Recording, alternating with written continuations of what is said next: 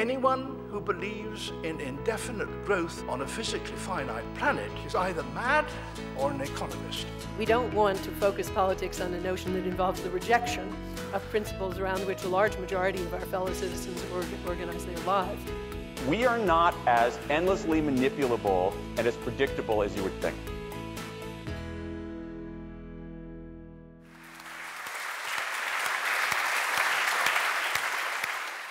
It's much too early to have any kind of genuine certainty about what the last 10 years have meant.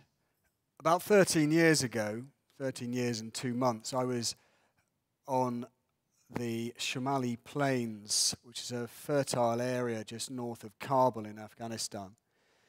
It's one of the rare places in Afghanistan where fruit and vegetables grow very well, or at least they did until the irrigation was destroyed during the war against the Soviets. I was on the southern rim of the plains where there's a small ridge before it all drops away to Kabul. On that ridge was a small group of Taliban fighters who welcomed me fairly amiably with some green tea and some grapes they were there to block the road south from Bagram Airport, which was a, a strip, really, a base, which was a long concrete airstrip constructed by the Russians in the 70s. Four years later, I was back on the Shamali Plains and back on the same ridge, looking down again at Bagram Airport, uh, which now was actually an airport. It now had thousand or so American troops all busy digging out trenches, constructing hangars, barrack blocks. I was just genuinely bewildered at this sudden eruption in Afghanistan of these thousands of American soldiers and what was happening to Bagram. The contrast was extreme for me at the time, and I was wondering that question that journalists always ask themselves what is happening here? What, what is this about? I think now, 10 years later, as I say, we can suggest some answers. We can see something that's emerging from the 10 years in between one question that obviously is there to be asked is, is, is this one conflict or many conflicts? The many ideologues on both sides, if you like, have tried to place this conflict in a very unified narrative, if you like, one side against the other, Islam versus the West, good versus evil, whatever. Is it one conflict or is it many conflicts? When you're on the ground as a reporter, it very much looks like many conflicts. You have communities against communities, tribes against tribes, different strands of religious belief against different strands of religious belief. I remember when I was in Iraq being told by an American official that they had six separate conflicts going on in their area of control, which was just north of Baghdad. That's what it looks like on the ground. Is it one conflict? Is it many conflicts? I think actually it's both. I'd say that it's one conflict because there are, and that was increasingly obvious towards the end of the decade, um, shared elements, particular tactics, particular forms of violence, spectacular violence, the use of the image. Often the image, uh, an image created by a protagonist, which is something new. Uh, never seen in war before. We've seen lots of images and the use of images and manipulation or the effect of images, but very those images have not been taken by soldiers themselves made by militants themselves. So I'm thinking of, for example, the Abu Ghraib pictures, which were actually only the uh, one of or one set of a huge amount of photographic or visual material created by uh, American and other, including British soldiers, depicting acts of violence or abuse of prisoners, or indeed their uh, mirror image, atrocious mirror image, the terrorists' own videos. Um, course of the war, I think that's now clear turning point around 2005, 2006. Only five years ago, but the genuine sense of dread, the genuine feel that, feeling that things were going out of control, that there was violence in Iraq, there was violence in Afghanistan, that there was violence on the streets of London, that it didn't look like people could stop this violence. It was going to continue, that there were crazy people in Washington, there were crazy people in wherever. And we were all in the middle of it. And it looked very, very bleak. And now it looks much better. And that turning point is very interesting.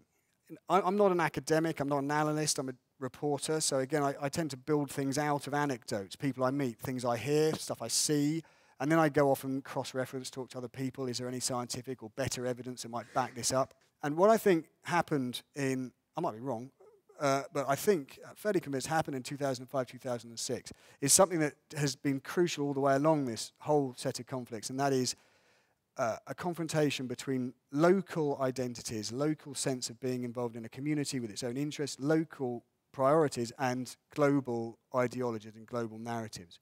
And that I started thinking about that when I was interviewing a series of militants between 2002 and 2006, seven, when they kept saying things like one who a lot of them were suicide bombers, failed clearly.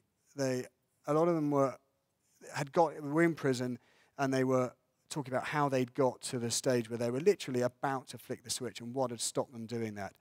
And several mentioned that it was when they heard the accents of people they were about to blow up and realized that they were from their hometown. And when I started looking, I started seeing them everywhere. Um, the Taliban fighters are local. Apparently, according to the Americans, they're telling me in June in Kabul, 80% of Taliban they kill or capture in, in Afghanistan are killed or captured within uh, 20 kilometers, I think, of their hometown. And I started looking at all the terrorist incidents.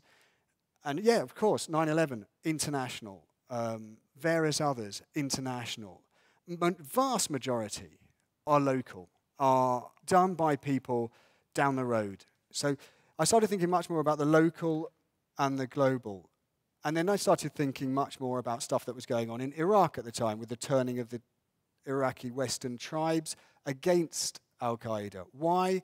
Because Al Qaeda is as globalizing, as disrespectful of local difference as anything that's come out of Washington. The Al Qaeda message did not match the local message, did not match their views. That's what they seem to be saying to me.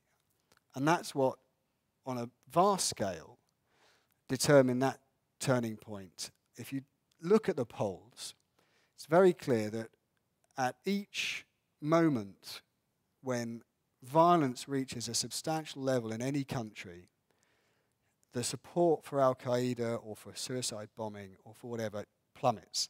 End of 2005, right in the middle of this crucial period I'm talking about. You have early November, uh, approval levels for bin Laden, for Al Qaeda, for suicide bombing, and so forth, up to 60 to 80%. End of November, 20%, 15, 25, depending on the question. What happened in between?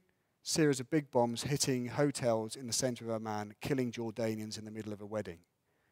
Same thing everywhere. Uh, Morocco, Egypt, Pakistan, Indonesia, Turkey, everywhere. Because when it becomes real, because when it becomes local, it is recognized that, that it is fundamentally contrary to the interests of any one community. Where are we now then, after this, this 10 years with this crucial point in 0506? Where is Al Qaeda now? Um, uh, Al Qaeda is in a pretty bad place. I, I wouldn't want to write its obituary yet, but it's chronically ill. Worth remembering, of course, that Al Qaeda is only one element of the phenomenon of contemporary Sunni Islamic militancy and therefore many others might, given the right conjunction of circumstances, grow in strength. I think, honestly, the, the whole 9 11, the whole operation of 9 11, the strength that bin Laden and Al Qaeda had accumulated by 2000, 2001, now does look very much of its time and not something that could be repeated. A particular set of factors allowing that that I, I see very, very difficult to reproduce. I think if anything else comes out of Islamic militancy, it's going to be as new and as innovative, if you like, as bin Laden and his strategies and tactics were. Just briefly on the Arab revolts, I think there are two things we need to remember with them. Um, one is this localism, this local difference um, what even within the revolts, it's this local identity that's going to determine what comes out of them, particularly somewhere like Libya, but also elsewhere. The other thing is that whatever comes out of them is likely to involve a mild Islamism, if you like, a moderate Islamism, or an, a religious identity of a strength or of a conservatism that will that is certainly not what the West, in inverted commas, would like to see, but will almost certainly have to accept if any kind of stability is to be achieved. When you think about the 9 11 attacks, the extraordinary thing about what happened, you know, when we think about them, we think about New York. We don't think about the Pentagon. And we don't think about the one which didn't happen because we think about the image. Mm. And what was so unusual about what happened in New York was not only the number of people who were killed, which was actually less than was thought at the time, it was that certainly because there were two planes, the second plane was caught on camera because all those cameras in New York meant that they could swivel to look at this vista and then catch the second one going in. Nowadays, you do actually catch the moment of explosion because somebody has probably got their mobile phone yeah. on and sends it somewhere. But at that point, you didn't. And so it was almost an accident that this explosion happened and worked because an awful lot of them don't.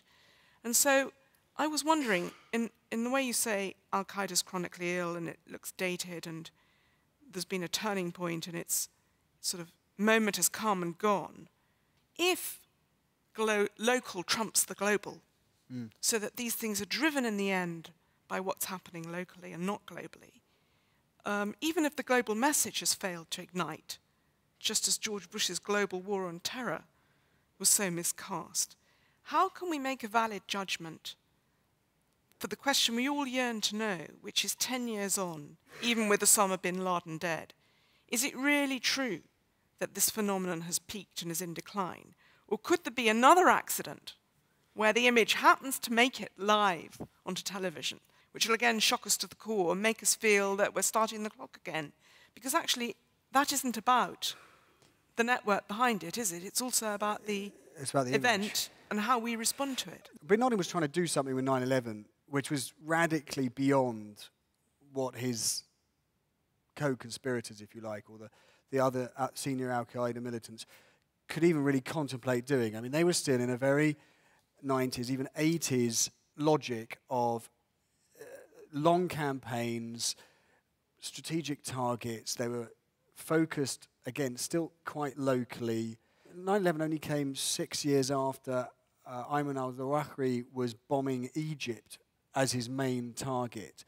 Um, and bin Laden recognized that you needed to something that was so dramatic that you you could shift everything into something that had never before been contemplated. You could sort of skip all the, ska- the stages. But he was, wasn't the only one with this vision. I mean, the World Trade Center had been attacked before. Yeah, but although not, in the, Ramzi Yousef did it in '93 and didn't bring it down. Um, that's the point, but, isn't it? That yeah, it didn't work. But and Yousef was Yousef was um, a kind of oddball anyway. And if you look at his demands. They're very kind of classic terrorist demands, Yousef. I mean, this was one of the things that bin Laden didn't really have at that stage. I mean, there were no demands. I mean, it was something that was kind of cosmically different. It was just a vast, spectacular, shock incredible and shock and awe. It, propaganda by deed to the nth degree. And in, many ways, it worked because it, the whole aim of it was to to, to, have such a huge impact that you always you had to think differently about things. 9/11 posed questions in many ways, much more than it gave answers. It, it was very open-ended, um, and that reaction of a billion or so people going, "Hmm, I've never thought about my faith like this before. I've never even thought of myself as primarily a Muslim, is what, in many ways, he wanted to achieve. Uh, the next step is the radicalization and the mobilization. So I think that's what he was trying to do with 9 11. And in that sense, he succeeded. And it took us many years to recover from that. And indeed, the effects are very much still there. You also analyse in quite meticulous detail various aspects of the response. You know, the wars are also not just what happened in Afghanistan in 2001, but what happened in Iraq and what's happening now in Afghanistan. And I was just thinking of the response. I remember when, I, when, when the attacks happened, um, I remember thinking, oh no, this is terrible because George W. Bush won't be able to restrain himself from the knee jerk reaction, which is exactly what Osama bin Laden wants, which will turn this into a conflict. And then, to my surprise, for a while, it seemed as though he was listening to other counsel and he was trying to build a coalition, and there was a pause, and um, you know, Iran was brought on board to some extent, for example. Um, maybe Pakistan was partly coerced, but it was an attempt for it not to be that clash of civilizations that it looked as though was going to be provoked. But you know, we can, it's always fun to play the game of counterfactuals, and you look back to the 2000 election and think, well, you know, what if those hanging chads hadn't hung? Supposing it had been Al Gore, who might very easily have been president, would the Western response in the end have been different? Or actually, were we sort of trapped by this image into a response, given what we knew at the time, the sense of insecurity, of more attacks to come, where it wouldn't have been very different? The immediate response, leaving aside the legal machinations that were going on to allow Abu Ghraib and torture, the, the which is a big leaving aside, but the, uh, the immediate military response and counter-terrorist response was in many ways not, well, quite traditional, expeditionary force sent to far-flung land, relatively innovative, okay, will depend on technology, laser sighting, small groups of special forces, CIA, etc., on the ground, um, and relatively successful. Apart from catching bin Laden, Taliban were deposed, and the terrorist camps were obliterated. And by the end of March 2003, most of 9 11 plotters had been rounded up and had been caught, the major players. Uh, and up to that point, most things were, some of them were controversial, but were relatively successful and leaving again aside the legal side of things, um, did, were, were reasonable, I think. It's then that you see an, this sudden reaction, I think born of perhaps the success of that earlier period, where you get Iraq happening, um, you get uh, the worst of the abuses. I was talking about Bagram Airport earlier. I was staying there on and off as a kind of guest of the Americans on embeds. Um, and it fascinated me that while I was there, just down the road, there were atrocious things happening in, in, the, in the prison they'd built. What it was really scary when you look at the how that abuse developed was that it, it developed earlier than, or rather the, the, the, the, legal element at the top with Bush signing off on torture memos and such like, which allowed it to happen in, a, in terms of presidential approval or it coming down from the administration, was in parallel with it coming up from below. So even by early November, American Special Forces in North, in North Afghanistan were taking photos of prisoners, uh, burning them, using cigarettes, possibly using electrodes, all sorts of other things.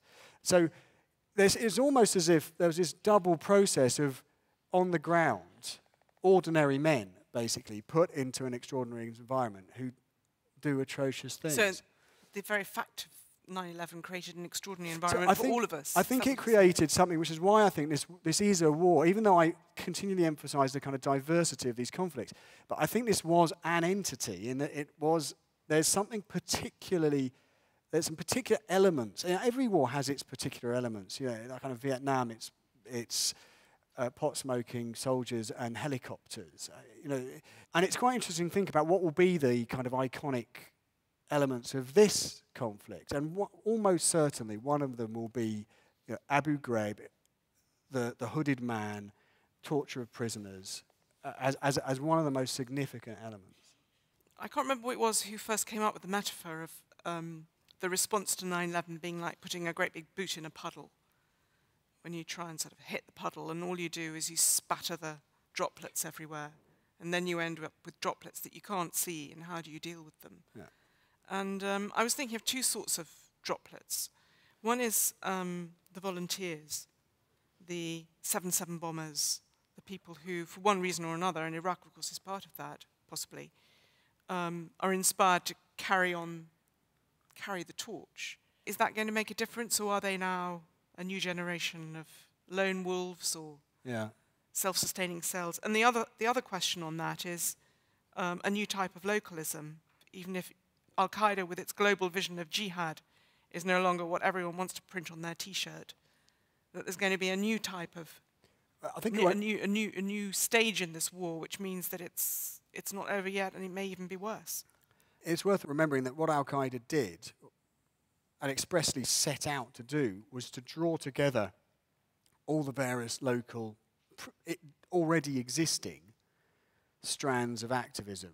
So, what I think we're seeing now is that uh, drawing together of, of different strands has now unraveled.